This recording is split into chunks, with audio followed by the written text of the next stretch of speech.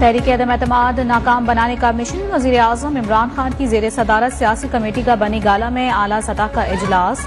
Attorney general की भी शिरकत। वज़ीर आज़म ने अदालती हुक्म पर सख्ती से अमल की हिदायत कर दी।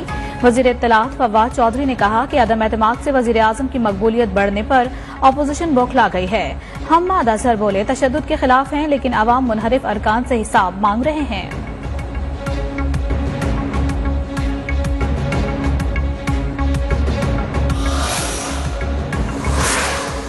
सिंध हाउस पर तहरीक इंसाफ के कारकुनों के हमले पर अपोजिशन का पारा हाई पार्लियामेंट लॉजिस में शहबाज शरीफ की सरबराही में मुतहदा अपोजिशन की बड़ी बैठक। आसिफ अली जरदारी बिलावल भुट्टो जरदारी मौलाना फजल रहमान, यूसुफ रजा गिलानी इजलास में शरीक। हुकूमती इकदाम का मुकाबला करने की हमत अमली तय की जाएगी।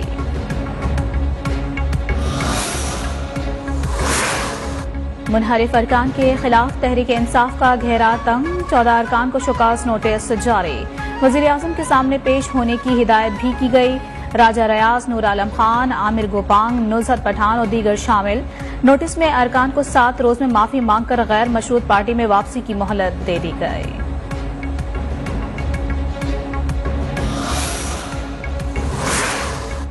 इस्लामाबाद में सियासी तसादम से बचने के लिए सुप्रीम कोर्ट बार एसोसिएशन की दरखास्त पर समात तहरीक अदम एतम पेश करने वाली तमाम जमातों को नोटिस जारी। चीफ जस्टिस ने रिमार्क्स में कहा कि विफाक की इकाई की प्रॉपर्टी सिंध हाउस को नुकसान पहुँचाया गया है। तहरीक अदम एतम सियासी अमल है, इसमें कोई दिलचस्पी नहीं।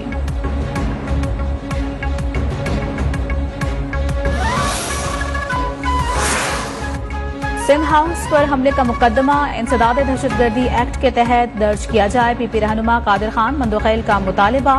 पुलिस की दर्ज करदा एफ़ आई आर मुस्तरद। वज़ीर आज़म विफाकी वजरा के खिलाफ मुकदमे के लिए सेशन अदालत में दरखास्त दायर कर दी गई।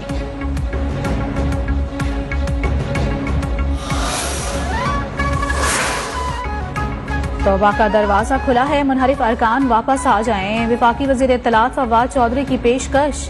कहा, हुकूमत और तमाम इदारे एक पेज पर हैं।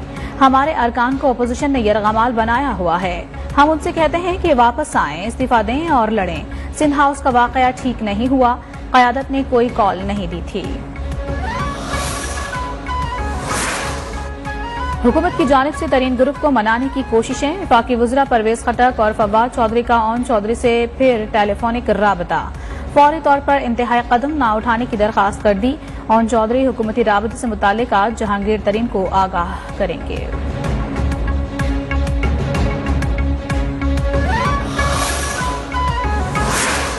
बयानबाजी से इतिहादियों के दरमियान दूरियाँ मजीद बढ़ने लगी। मुस्लिम लीग काफ के रहनुमा मोनसिलाही का फवाद चौधरी के बयान पर सख्त रद्द अमल। सेट एडजस्टमेंट की सीट एडजस्टमेंट की बाद भी पीटीआई के एमपीए को हल्के से काफ लीग के एमएनए से कम वोट मिले थे। बराह करम इलेक्शन कमीशन के नतज चेक करें।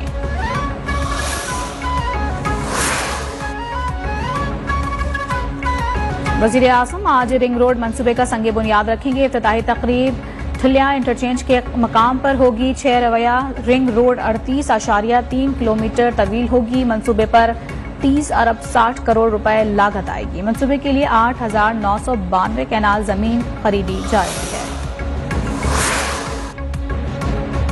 ओकाड़ा के इलाके Renala Khurd national highway bypass पर कार में आग लग गई, बाप और दो बेटे जाँ बहक हो गए, एक बच्चा और वालिदा बुरी तरह से झुलस गईं।